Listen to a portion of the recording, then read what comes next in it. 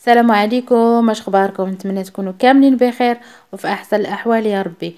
كنظن كلكم سمعتوا بأن الملك ديالنا الحبيب مريض خرج بلاغ من الديوان الملكي بأنه مريض بنزلة برد شديدة ومنعوا الطبيب ديالو من السفر.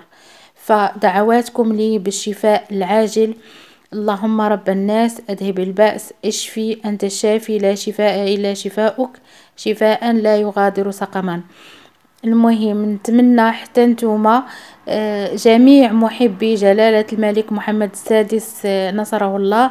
آه، نشوفكم في التعاليق كتدعيو معاه. حينت حنا بلا بيرة ما كنسوى والو وراه ما كاين غير الله الوطن الملك.